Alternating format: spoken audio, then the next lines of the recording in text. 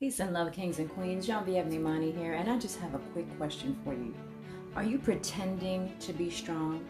Are you pretending that you have it all figured out? Are you pretending that things that have been said to you don't hurt you? Are you pretending that you're healed from your traumas, but you're really not? Are you pretending that you want to be at that brunch, but you really don't like those people? Are you pretending that nothing bothers you? Are you pretending that you have it all figured out in your business, your brand, and your relationship? Are you pretending that you can get through it all by yourself? Well, unpeel the layers, my love, because you don't have to do it all alone. Release the need to do every single thing perfectly.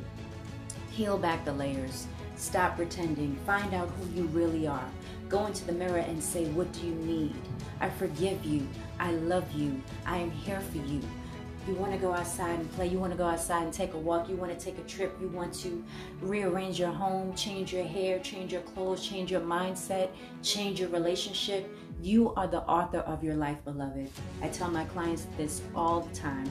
If you need a push, turning your struggle into your strength, share this with someone, especially a single parent entrepreneur who's going through it, and let's see how I can help them to turn their struggle into their strength the same way that I did.